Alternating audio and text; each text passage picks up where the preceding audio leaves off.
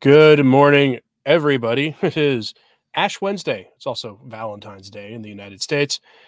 And I hope you put off your Valentine's Day or did it a day early or you're doing it later in the like on Saturday or something. I thank you for joining us during Lent. A fair number of people do take a, take a break from social media during Lent. So prayers for all of them that they may have a good and fruitful Lent. All right yeah, Lent. Again, I got almost no sleep last night, unrelated to Lent or anything else going on. And so we're going to do the stream and we're going to get it, uh, we're going to do it relatively quickly today, even though this is an interesting topic. There's a professor in, I believe, Italy who wrote a book called Habe, Habemus Papam with a question mark. Do we have a pope? And he wrote this article responding to some criticisms of his work by Professor De Mattei. And Archbishop Vigano then responds to this article. And the challenge here that is, that is issued is that everything we see going on in the Vatican lends itself naturally to people thinking that Francis is invalid for one reason or another. There are as many competing theories about that as there are people who are willing to even entertain them in the public eye. Andrea Ciancini is the one who's a subject here. He's an Italian who has the impeded see thesis. There are others out there with various other theses. And sort of the challenge here is the only people who can make who can even begin to really give you a concrete answer to this that has any potential for binding or being frankly probably lawful in the church are the cardinals and they're silent on the issue. I can't think of a single bishop who is not retired and frankly deeply retired like far deep into his retirement years who has taken a public stand on this. So there is throughout all of this a series of challenges to the Cardinals. So, if we're going to talk about Vigano's response to this, we should probably begin with the actual article itself that he's responding to from which was published by Aldo Maria Valli, who's an, an Italian commentator on his own personal website. So he's very well connected. Um, it's a very good news source too, by the way. So the the um, the article is by Massimo Viglione, who wrote the book Habemus Papam, which for those, actually, I will show it to you so you can see what I'm talking about here. I would get a copy of this book, but as you can see from its uh, its Amazon listing, it's only available in Italian, so it wouldn't do me any good. I uh, I do not speak Italian. I could get a copy for twenty seven dollars, but then I don't know what I would do with it. So, um, but it's available for those who do read in Italian, who can read Italian. You can find it on Amazon and get it shipped to you. So with all of that having been said, let's actually start with the article that Vigano responds to. It's not terribly long. We'll go over it and then uh, go over Vigano's response, which is also not super long. So it says on February 1st of this year, Professor Roberto de Mattei reviewed my newly published book, Habemus Papam, in the periodical he, he directs. He gives up uh, there's some lack of some bad. Uh, I think the article here is that Roberto de Mattei's uh, article is called Heretic Pope he, meaning Benedict, gives up vacant office. The teachings of the past and the debate after the 11th of February 2013. Um, and thanking the professor for his attention to my work, I found myself forced to make clarifications on some of his statements. Let's zoom in here. That I believe are incorrect and on some statements that are not true.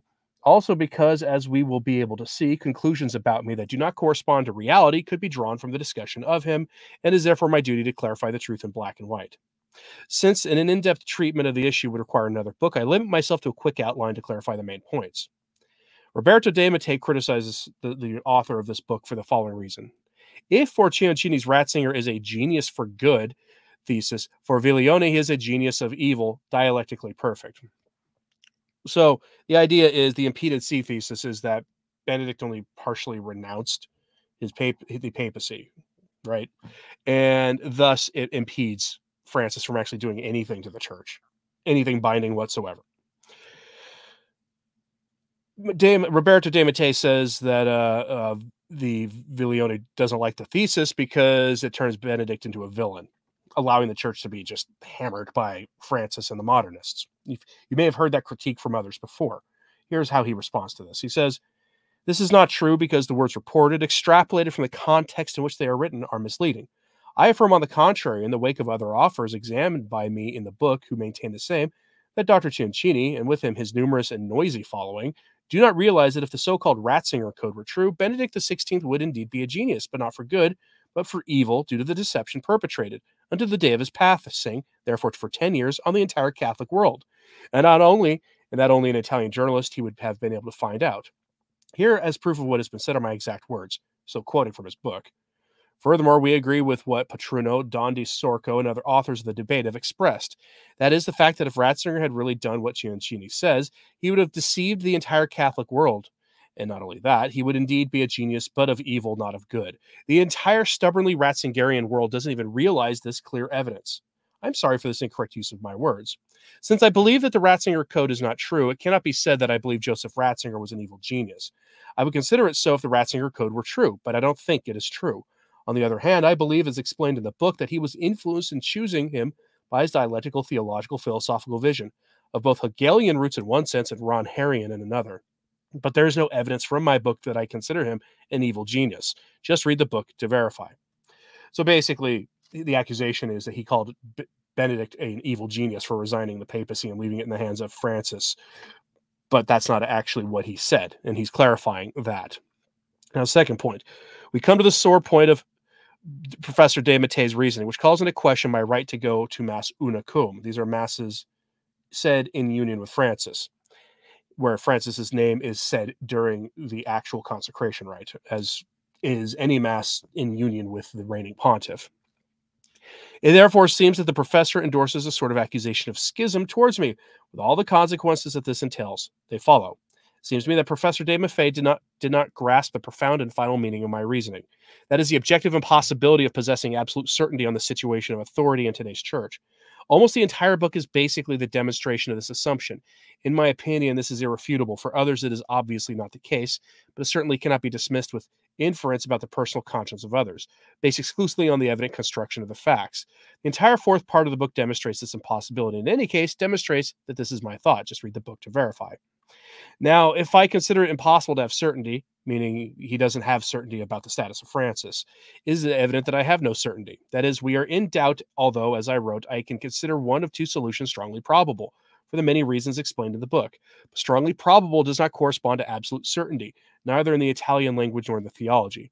If there is no absolute certainty, there is no full awareness of the possible sin, and therefore there is no sin because schism is a sin, and there is no deliberate consent, i.e., in this case, the will itself of being a schismatic. Nor can we speak of a schismatic spirit for the simple reason that I am not posing these problems, as if I were a wild man under the pontificate of Pius XII, or even before, yada, yada, yada. You get the idea. The, the, idea is this if you have doubts about Francis's validity, are you are you a schismatic for going to Mass masses said in union with him? Yes or no? And the answer to that question is no, because it's these are not something anybody can have clarity on at this time. That is his point here. Now, many of you won't like that. That's his point. Again, we're going over this so we can see what Vigano is responding to. He says in the book on page 251, after having described all the possible motivations, objective in themselves or exposed by other authors or deduced from perennial teaching of theology, such as the problem of the Pope dubious, just to give one possible example of the many, many we deal with, which push us to doubt the legitimacy of the current see, I write verbatim, quoting himself, because everything described in this book does not depend on us, no decision is up to us regarding the question of authority in the church. At most, we discuss it publicly, make videos or articles or books with the aim of posing the problem to the legitimate ecclesiastical hierarchies and opening the eyes of those who seek the truth without yet finding it, but nothing more than that. That's the key here. That all these, everybody pushing their hypothesis about what's going on is meant to put this stuff in the eye, in front of the eyes of the proper church authorities, who are the ones who should do something about it. But you notice they don't do anything except for just say Francis is the Pope. He's been accepted by the world as Pope. Case closed when at least, you know, I may not agree with all the hypotheses out there, but at least there are people digging into the question and giving you reasons based on Catholic theology and canon law and any other way to approach it that seems at least valid. Most of the better bishops who reject all of this do it without really examining the question and giving it a fair shake. So he continues saying, on the other hand, we can only suspend judgment and wait for those responsible to act or for the facts to unravel the situation or for God himself to intervene. Until that moment, we are simple and faithful children of the church in the historic moment and in the conditions in which the Lord wanted us to live. And this is exactly what I, Massimo Viglione, a simple lay Catholic, do. And I have stuck to this with this book. And he goes on to refute other things. Um, they're not actually, and he, he like Roberto de Mattei called him a sedepravationist. Um, and uh, the author actually finds everything wrong with sedepravationism. I mean, the, sedepravationism is different than set of sedevacantism. The idea that, yeah, this person's pope, but they've lost all their authority because they're the pope, you know, because of their heresies or whatnot. There are a whole lot of different positions instead of a contism and recognize and resist. There's a whole lot of these others.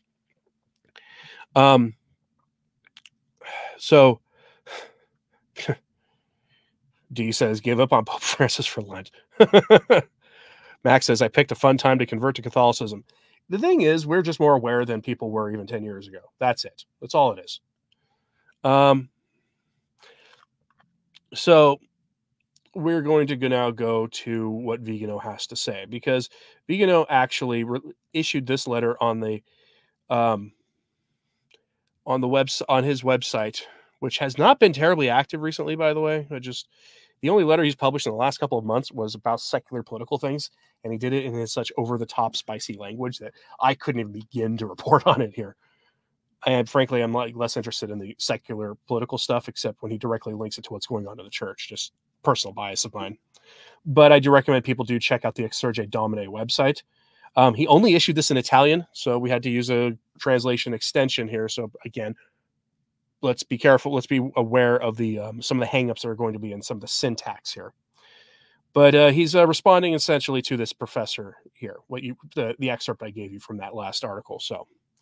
Habemus Papam, the recent essay by Professor Massimo Viglione, asks a question that only 11 years ago was unthinkable, and unthinkable for the average Catholic and perhaps even for a canonist, since the errors and deviations of Vatican II had not yet become evident in their disruptive evidence arriving to be affirmed hours round by the one who should have instead condemned them. That means that he's confirming errors that had been stewing under the surface, if you want to say they're under the surface, caused by the council and um, made manifest for everybody, right? Let's think about Amoris Laetitia, the provisions with which the doctrine on the ultimate penalty the state can impose was modified, or the latest scandalous declaration of fiducia supplicans, contested by entire episcopal conferences. By this, I mean that the recent awakening of many Catholics, among which I cannot fail to include myself, in the path of returning to tradition in recent years, allows us to understand, even just intuitively, through the sensus fidei, that we would never have we could never have seen a Roman basilica desecrated by a simulation of a mass by a fake Anglican bishop without first Montini's embrace with no less heretical patriarch Athenagoras, or the meetings in Assisi and the visits to the uh, temples by Wojtyla and Ratzinger meaning John Paul II and Ratzinger. To American ears, saying uh, calling a pope by his his birth name sounds weird to us and impious, but it, that's a European tradition going back centuries. And Vigano's Italian, so cut him some slack. And that if today Bergoglio is preparing to access the priesthood for women, this is due to the tampering with holy orders begun by Paul VI with the reckless suppression of the minor orders and the subdiaconate, always in a pro Protestant ecumenical key. What, in my opinion, is the indisputable merit of this work by Professor Viglione is not only the fact that he was able to list synthetically and clearly the various theses regarding the Catholic response to the manifest heresy, heresy of the pontiff in the affair of the renunciation of Benedict XVI, but also and above all, having finally asked the crucial question do we have a pope? because it is this question, precisely in its terrible implications, that no one had dared to ask the general public until now, limiting themselves to academic speculation or marginal ecclesial realities.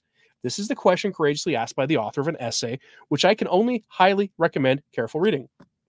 And unfortunately, the essay is published in the form of a book in Italian, and I have not found any evidence that it's coming out in English anytime soon.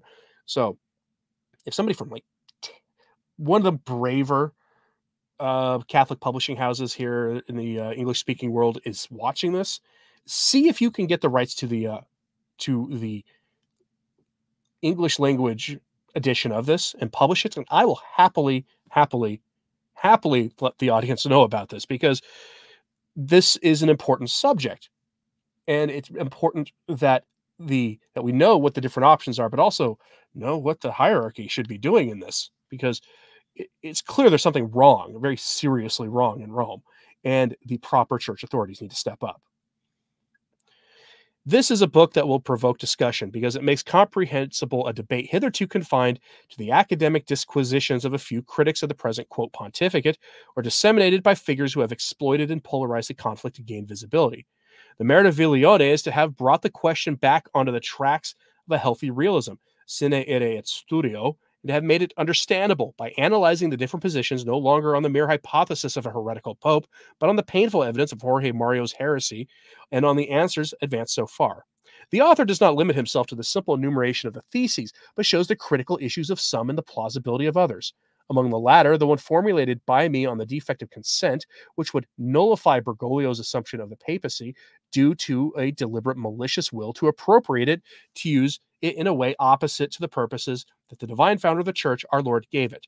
Here is this is Vigano's thesis on why Francis may not be the Pope.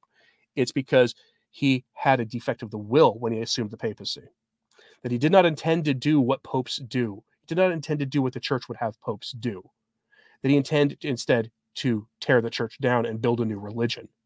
That is what he is. That is his thesis says another thesis of great value, and for this reason rightly addressed by the author, is that of Professor Enrico Mar- Maria Radaelli, relating to the anomaly of renunciation and the invention of the papacy emeritus. I share Viglione's persuasion regarding the irrelevance and rigor of this analysis, especially if it is integrated with the Vitium consensus of Benedict XVI's successor, as suggested by Radaelli himself and read in the light of Ratzinger's dialectical Hegelianism. The professor, Viglione, does not intend to provide definitive answers, but first of all to ensure that the topic is addressed and discussed, because only by an honest awareness of the Bergoglio problem can we delve deeper into the doctrine of the papacy and those aspects of the doctors of the church and the canonists of the past they conceived it as a remote eventuality, while for the Catholics taken of the synodal church, they showed themselves as real. Meaning, theologians in the past, the doctors of the church, never delved as deeply into this issue as would have been really good for them to do. And councils never conceived of this. Popes didn't really think of it because it just seemed like a remote possibility that could possibly maybe happen at some distant point in the future. But now we are all in the grips of the synodal church, and we all live with this reality every single day, that of a heretic pope. And what is the court? What's the recourse? Again, the we've heard different things from members of the hierarchy. We've heard Cardinal Burke say that there could be some kind of imperfect council trial thing. There are doctors of the church who disagree with that. There are theologians today who disagree with that. There is no clarity here. If if there is any situation in the church that makes the alleged Sister Lucia and her words, we say alleged because it came from the 1960s after most people think Sister Lucia was replaced. But the words still ring true. The diabolic disorientation that's entered the church. There is no situation in the church uh, uh, aside from where we are today that makes that those words ring more true than the situation of Francis the Great and Merciful and what he's been doing to the church. Let's continue. In the list of theses on the vacancy of the apostolic see, the fonta canonical ruminations of the Ratzinger Code by Andrea Ciancini and his followers could not fail to be mentioned. The reader will not be unaware of the inconsistency of the phantom theory of the impeded seat, which constitutes a false premise that invalidates the entire reasoning, as well as casting, as the author points out, disturbing shadows on the honesty and correctness of Benedict XVI's actions. So clearly, Vigano is not a fan of, of Dr. Ciancini's thesis. Believing that he was able to send cryptic messages aimed at a small circle of initiates, basing this belief on completely questionable and circumstantial facts, a belief that has become incontrovertible proof and obsessively imposed as dogmatic truth, relegates Ciancini and company speculation to the genre of fantasy borrowed from Dan Brown. Ouch. I would uh, I would add um, it does that thesis at least the adherence to it some of the adherents do remind me of in the secular world, that person who, on the internet who was giving cryptic messages about how in the United States things were about to turn around, that there was a big plan. Uh, go to the letter R, minus one on the alphabet from there. Yes, that that term is absolutely flagged on YouTube. I know for a fact that it is. But that person, that it, it does kind of have a whiff similar to that. Now, um, that having been said, I do think his thesis should also be given given a fair treatment by the proper ecclesiastical authorities. Vigano continues saying, of course, the pontificate of Jorge Mario Bergoglio is a Greek word, a unique case in the entire 2,000 year history of the church, both for the methods that brought the Argentine Jesuit to the throne of Peter and for the clear complicity of the embedded church in this subversive plan. And finally, for the mirror nature of Bergoglio's actions within the church as a leading exponent of the embedded church compared to that of the embedded system in Western nations. But this unicum is the poisoned fruit of a malapia whose ideological roots lie in the neo modernism of Vatican II, which managed to combine the devolution of the sacred authority of the Roman pontiff to assembly bodies of a democratic mix with the progressive transformation of the Pope into a tyrant divinus legibus solutus. In fact, if an institution separates the exercise of power from the necessary subordination to the authority of Christ the King and Pontiff, who is its supreme guarantor, it loses all its legitimacy and can only become, as has already happened in the civil sphere, an expression of lobby and interest without any restraint. The paradox and the satanic cunning of this ecclesial takeover consisted in maintaining the appearances of the papacy for the sole purpose of being able to demand obedience from those who still believe that whoever sits on the throne of Peter is the vicar of Christ, chosen by the Holy Spirit, while in reality he is a mercenary who abuses the trust and respect of the faithful to disperse them. Ouch. The same phenomenon is happening in temporal governments, where rulers claim unlimited power, even to the point of um, mass removal, over their citizens, under the illusion that those who represent them in parliaments have the common good as their aim. And it is no coincidence that this democratic um, strong arm was only possible after having ousted our Lord from his lordship over the nations. What still gives hope for an awakening of consciousness is that the reactions of lay people priests, bishops, and even part of the profane world in front of the vexed question are not of scandal or amazement, but of total awareness of the Bergoglio problem. Professor Viglione also notes the contradiction of those who, on the one hand, are aware and denounce the deviations of the Argentine Jesuit, but on the other hand, do not believe that this has any consequence on his recognition as Pope, limiting themselves to considering his actions as non magisterial interventions to which obedience is not due. It is to be hoped that the broadening of the audience of Catholics informed on the topic will make it possible to clarify the most inconsistent positions of a a priori official defense, which risks bordering on open complicity. That's a call out to the Pope's splainers who do mental gymnastics to defend Francis. And they do it most of the time from a love for the church. Never forget that, that the Pope splainers that we like to take to task, even the ones that kind of make themselves into a joke in their constant defense of Francis. They do it from a from having a love of the church. I know that's hard for some people to hear. This is why I don't make fun of any of them, other than to maybe make fun of the concept of being a pope splainer in this day and age. But most of them love the church. Okay, let's extend some charity. In fact, let's make that a Lenten resolution to try to extend some charity to those who oppose our positions on the Bergoglio question. Okay, because while we should definitely correct errors and even make fun of some of these like mental gymnastics, at the end of the day, these are people who do love the church. There may be exceptions to that rule. I'll leave you to decide that, especially maybe anybody out there who casts aspersions with a wide, giant net on those trying to wake people up to the crazy things going on in the church these days. Let's continue.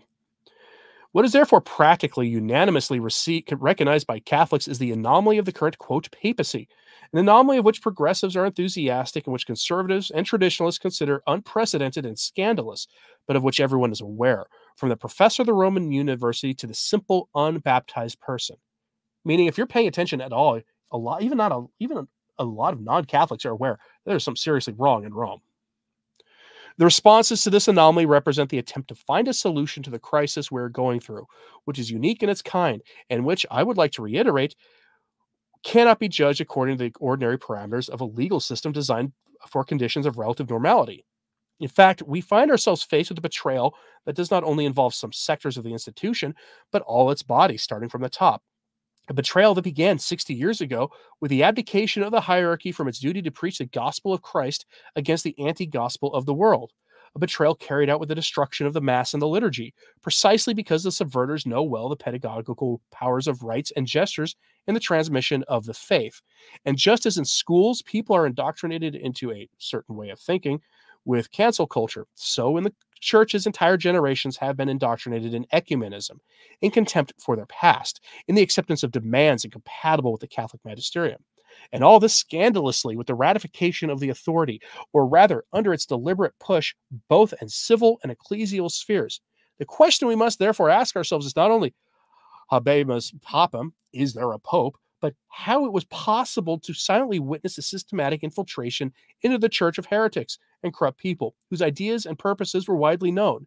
And what is the responsibility of the hierarchy, starting with the popes of the council without exception, and this reckless and certainly disastrous substitution, especially when the destructive potential of this subversive operation was evident from the beginning, and there was still a way to remedy. Jorge Mario Bergoglio's recent action is perfectly consistent with the work of doctrinal, moral, disciplinary, and liturgical erosion carried out from pontificate of John the 23rd and never interrupted even in the face of the disastrous emptying of the church, seminaries, convents, and Catholic schools. Indeed, one might think that the failure to intervene in the face of this patent failure is a confirmation of premeditation and malice on the part of someone who has never had the humility to question his fallacious certainties. Here, too, the parallel with the embedded system is evident, because in both cases, the declared purpose, fostering the church's dialogue with the modern world or making the liturgy understandable to the faithful on the one hand, and containing a the bad stuff that happened four years ago, or coping with with the uh, thermometer problem on the other, just to give two examples, are lies that serve to distract from the real objective, which is criminal and, and unspeakable. If the disillusion of the state is evident in the betrayal of the rulers and their subservience to the to the, our betters, with the aim of reducing the total number of everyone and putting the rest into servitude, no less evident is the dissolution of the church in its most human component, obviously, in the betrayal of the majority of the Catholic hierarchy, also subservient to the same ministers with the aim of uh, eliminating the catechon, which prevents the mystery of iniquity from manifesting itself. As I have already recalled, we are not in a church whose hierarchy is Catholic, and we find a pope who professes heresy, but who at the same time is sincerely intent on shepherding the flock of the Lord, but rather in front of a church eclipsed by a state, in which every dicastery, every university, every seminary, every diocese, every parish, every convent are directed and managed by the embedded church, in ostracism and persecution open to anyone who dissents, even limiting themselves to the recent magisterium without questioning the council. We have conf- confirmation of this from the total self referentiality of Bergoglio's so called magisterium, as enthusiastically reiterated by Prefect Tucho.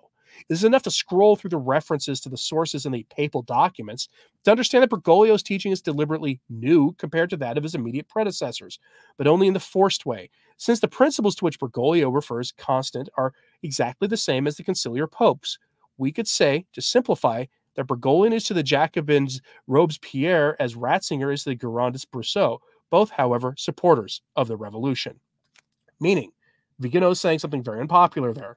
He's reminding everybody that every single pope since the council has contributed to this problem.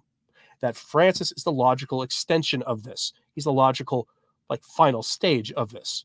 But every single one of them helped because every single one of them participated in tearing down the liturgy, tearing down the sacraments and re- rebuilding them in their own image, and of rejecting the social reign of Christ the King which goes back to Archbishop Lefebvre and his great debate with Cardinal Ratzinger, handled in letters in private, published later, and he could not get Cardinal Ratzinger as prefect for the Congregation of the Doctrine of the Faith in the 1980s to affirm the church's traditional doctrine on the social reign of Christ the King. Take all the time you need to think about that. And I say that as someone who generally thinks positively of Benedict, though not as positively as most of you tend to. So here's how Vigano closes this. Habemus Papam, heretical pope, renunciation, vacant seat, constitutes a precious contribution to the understanding of a now undeniable phenomenon, conceived not as a sterile academic test, but for the love of the church and the papacy. Totally today humiliated and discredited by a hierarchy subservient to the world, regardless of the loss of many souls for whom the Lord shed his blood. Therefore, let the same love for the church and the papacy guide its reading. Signed Archbishop Vigano on the 5th of February 2024 on the Feast of St. Agatha he like he also likes to publish things on the day on uh on on feast days that are important. So there's the book. For those who may try to find a copy, if you read Italian, I wish you luck if you do, because again, I would absolutely love to see an English language translation of that book available. But there is no cop. There's no pub. Nobody's got an English one. So please, if you are if you are a someone who works at a publishing house watching this, consider trying to get a copy of this. I guarantee you, you're going to sell lots of copies in the United States, and I will happily, happily let the audience know about it. And I'm not asking for any monetary compensation for doing it. It's an important topic. All right, so let's see. Apparently, uh, is there a way to remove Francis? Uh, let's see. Um, okay, so what's going on here? There's somebody in the chat causing problems because I was reading the full thing. Let me just go here. I wrote the book, but it's my world. What?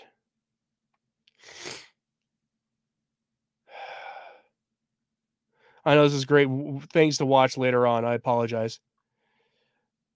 You know what? Bye. I just normally people here in my chat don't ask for people to be banned, but I will just take care of it. So, all right, folks. What let's I wish for Vigano was Pope far closer to Christ. It seems well. Uh, Vigano will never be Pope, and I know that that's hard for some people to hear, but Vigano, there is a there is something to understand in the hierarchy, and that is this. It's almost like a trust. And when he began calling out the hierarchy, when he began calling out Francis the way he did, he violated the trust in the eyes of the bishops, who are the cardinals who make that decision of who becomes pope. And aside from the fact that Vigano is also in his 80s now, which means the chances are near zero anyway for anybody who gets that advanced age. Despite the fact that Vigano has been right on most things, it does not matter because uh, there is a sort of sense of trust in the College of Cardinals. And Vigano's not even a cardinal anyway. If you are not a cardinal, the chance of becoming pope gets greatly reduced there hasn't been a non-cardinal elected pope in a very, very long time. Um, I don't think there's anybody in the College of Cardinals even as remotely close to as good as as Vigano either on this, unfortunately. Um. All right, folks. I do asked bishops he will stop the secular concerts in the cathedral. He said he will allow whatever the church allows. Oh boy. Yes, there are some cathedrals in the United States and in the West that allow secular concerts in their cathedrals. And this isn't just like allowing a Christian rock band. And I mean, like, I don't mean a rock band comprised of Christians, of which there are many who out there of all any genre you care to name of rock music. I mean, self-styled Christian rock bands. They make their music is predominantly Christian in nature and they get sometimes in some places they get they play shows in cathedrals and that's bad enough i don't think that should happen there but you do sometimes see cathedrals rented out for secular purposes not that different than what has happened with uh, canterbury that i reported on a few days ago